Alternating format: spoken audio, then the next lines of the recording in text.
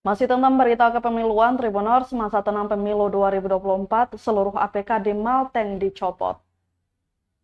Masuk masa tenang pencoblosan dan penghitungan surat suara pemilihan umum atau pemilu 2024, seluruh alat peraga kampanye atau APK ditertibkan Badan Pengawas Pemilu atau Bawaslu Maluku Tengah di Masohi Minggu 11 Februari 2024.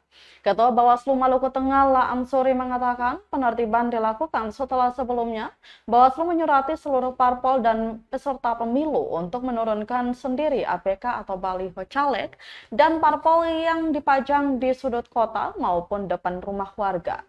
Namun sampai dengan 11 Februari masih ada baliho caleg yang belum diturunkan, sehingga Bawaslu mengambil langkah penertiban sendiri. Lanjut, pada langkah penertiban itu Bawaslu melibatkan sejumlah unsur terkait antara lain kepolisian, Satpol PP, Dinas Lingkungan Hidup, dan Dinas Infokom Maluku Tengah. Sementara untuk pemantauan hingga langkah penertiban APK di tingkat kecamatan dan desa akan dilakukan oleh Panwascam.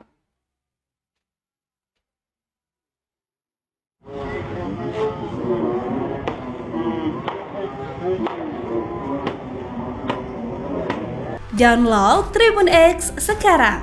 Menghadirkan lokal menjadi Indonesia.